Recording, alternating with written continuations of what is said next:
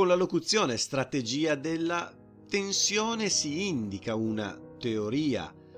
politica che eh, si può riferire generalmente a un periodo storico molto tormentato della storia d'Italia. Si tratta degli anni 70 del XX secolo in particolare, conosciuto questo periodo anche come anni di piombo e c'è anche un video su questo canale. Eh, quindi questa strategia della tensione mediante un disegno eversivo, quindi al di là della legge, tendeva alla destabilizzazione e di conseguenza auspicava un disfacimento degli equilibri democratici che si venivano a costituire in quel periodo. L'arco temporale in cui viene messa in atto questa strategia della pensione è quello che va più o meno dalla strage di Piazza Fontana, quindi il 12 dicembre del 69, alla strage alla stazione di Bologna del 2 agosto 1980. Alcuni studiosi retrodatano l'inizio di questa strategia addirittura alla, agli anni successivi alla fine della seconda guerra mondiale con la strage di Portella della Ginestra il primo maggio del 47 o al 1964 con il piano Solo che è appunto un fallito colpo di Stato progettato dal generale dei carabinieri Giovanni De Lorenzo. Allora, la strategia della tensione si basa su una serie di atti terroristici da attribuire ad altri rispetto a quelli che, le, che, li hanno messi in atto. Quindi in questo caso erano gli anarchici o i comunisti, secondo la teoria della false flag, quindi falsa bandiera, volti a diffondere nella popolazione civile uno stato di terrore, quindi di, di, di paura, di insecu- insicurezza, al fine da giustificare o addirittura richiedere svolte politiche di stampo autoritario, quindi al fine di ripristinare l'ordine. Negli anni della strategia della tensione quindi si osserva una sorta di commistione tra il terrorismo neofascista e un mai eh, chiarito fino in fondo eh, terrorismo di Stato so- sostenuto da alcuni settori militari e politici che al fine appunto di combattere il comunismo erano disposti ad arrivare fino al colpo di Stato, soprattutto dopo il movimento del 68 e il cosiddetto autunno caldo. La locuzione strategia della tensione è la traduzione italiana dell'originale, diciamo così, inglese Strategy of Tension, coniata da Leslie Feiner, un giornalista del settimanale, del settimanale britannico The Observer, che appunto scrive un articolo il 7 dicembre del 1969, quindi soltanto cinque giorni prima della strage di Piazza Fontana. In questo suo articolo, eh, basato su alcuni documenti segreti dell'MI6, quindi il servizio segreto britannico, documenti sottratti dall'ambasciatore greco in Italia, Feiner fa riferimento a una strategia politico-militare degli Stati Uniti d'America spalleggiata dal regime dittatoriale dei colonnelli greci, volta questa strategia a orientare un certo numero di governi democratici di alcune nazioni nell'area mediterranea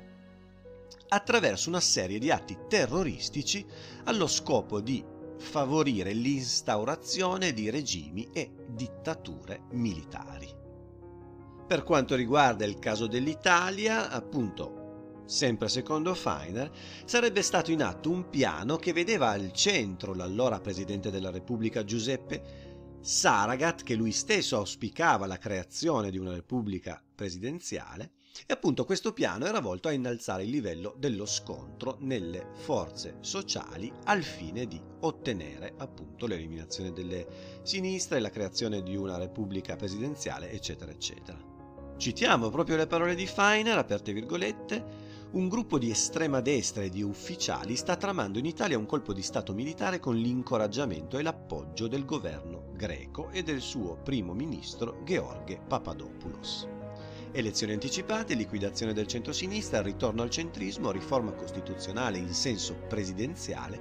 definitiva emarginazione delle sinistre. Chiuse le virgolette. Quindi il movente principale della strategia della tensione, soprattutto in Italia, ma anche nel quadro della guerra fredda, sarebbe stato quello di influire sul sistema politico democratico, rendendo instabile la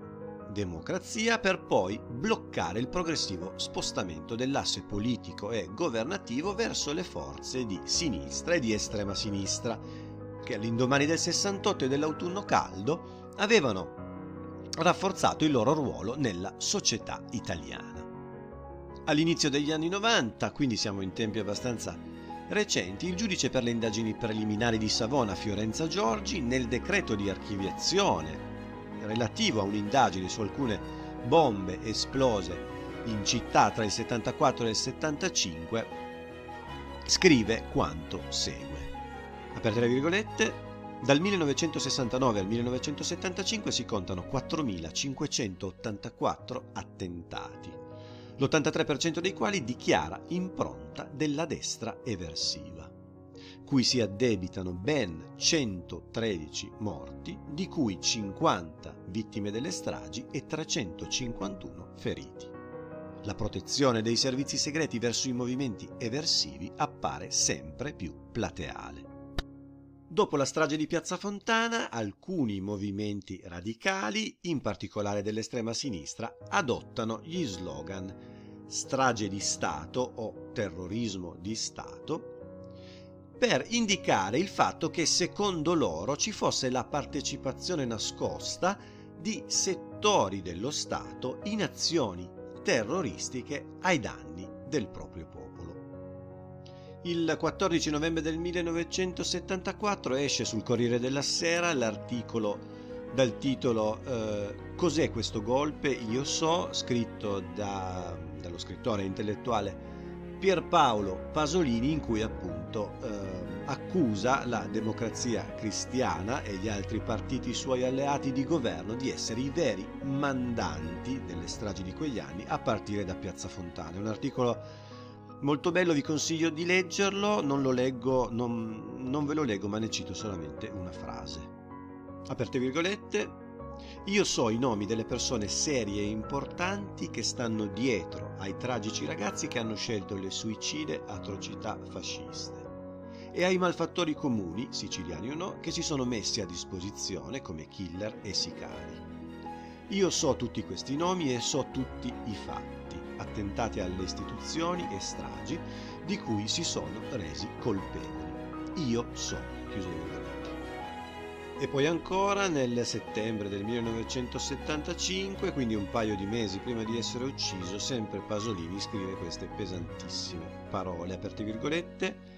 Andreotti, Fanfani, Rumor e almeno una dozzina di altri potenti democristiani dovrebbero essere trascinati sul banco degli imputati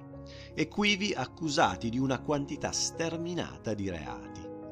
Indegnità, disprezzo per i cittadini, manipolazione del denaro pubblico, intrallazzo con i petrolieri, con gli industriali, con i banchieri,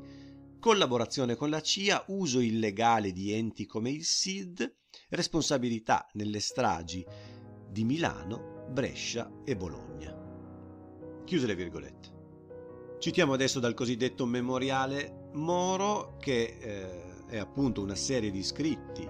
a mano eh, dell'onorevole Aldo Moro durante la sua prigionia, aperte virgolette, la cosiddetta strategia della tensione ebbe la finalità, anche se fortunatamente non conseguì il suo obiettivo, di rimettere l'Italia nei binari della, tra virgolette, normalità, dopo le vicende del 68 e il cosiddetto autunno caldo. Si può presumere che paesi associati a vario titolo alla nostra politica e quindi interessati a un certo indirizzo vi fossero in qualche modo impegnati attraverso i loro servizi di informazioni.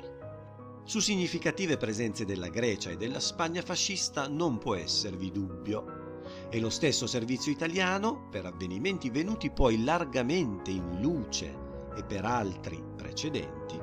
può essere considerato uno di quegli apparati italiani sui quali grava maggiormente il sospetto di complicità. Fautori ne erano in generale coloro che nella nostra storia si trovano periodicamente, e cioè a ogni buona occasione che si presenti, dalla parte di chi respinge le novità scomode e vorrebbe tornare all'antico. Tra essi erano anche elettori e simpatizzanti della DC.